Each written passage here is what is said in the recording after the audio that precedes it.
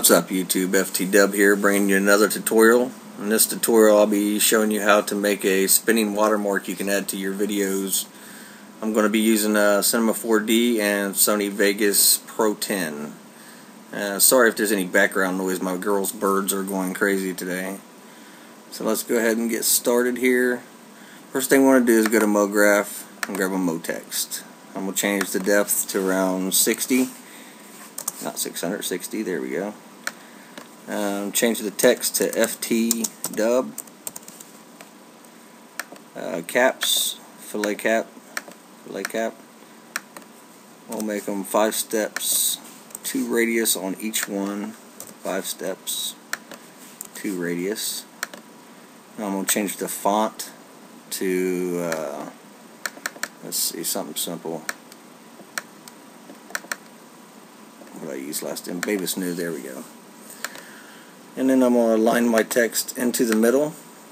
Now I got two materials already made. There's a chrome and a blue. You can use whatever materials you want. This is just an example video. There's the birds going off. Alright, first thing we want to do is grab our blue material, add it to our text. Grab our secondary material, add it to our text. Then we're going to go where it says selection, put in a capital C and a number 1 and then on projection, I always use frontal. You can put whatever you want. And what that does is that makes the secondary collar on the front. The first collar will stay on the rest of the text. I'm going to give you a little example of what it looks like right here. As you can see right there. Okay, now pretty much all we need to do is uh, animate our text. Select our text, go back to zero on our timeline, and select the keyframe on zero. Then we'll go to around 35 frames. We'll go to our H value. We're going to type in 180 degrees and click apply. then we'll add a keyframe there. Then we're going to go around to 75 frames. Get to our H value on rotation and type in 360 degrees and then click apply and then add a keyframe. And if you play that back, it's a simple spinning animation. Okay, then uh, go to your render settings. Go to output, 1280 for your width. Your height will be 720. Um, frame range, select all frames. You know, just make sure all frames are selected. And there's 90 frames total. Um, on save, I'll save the format as a PNG. Make sure alpha alpha channel is selected. Now, uh, for your file save, I would uh, actually suggest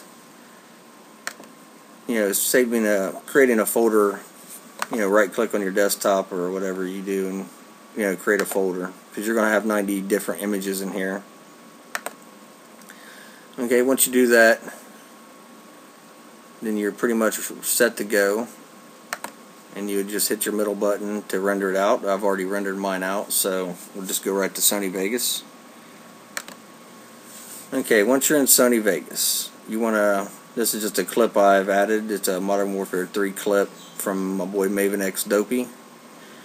You just want to right click next to the clip insert a video track go back to the beginning of your timeline and then you want to hit and hold control and press the letter O control O and then select the very first one. This will bring up your folder with your watermark in it select the very first one and down here where it says open still image sequence make sure that is selected click open and then uh, just drag this out to this ending of your clip and if you play this, it's going to be a little laggy. I got so many programs open. It'll create a little spinning animation that we made. Now you don't want it to be on your screen like it is right there, so you're going to want to select your pan and crop and zoom out. And then you're just going to drag the corner and get it to the desired size you want. Place it wherever you want onto your image. I'm going to put mine up in the upper right corner. You can just drag the boxes bigger, put it wherever you want. And there you go. When you uh, render out your file, you have your spinning watermark up in the corner or wherever you place it.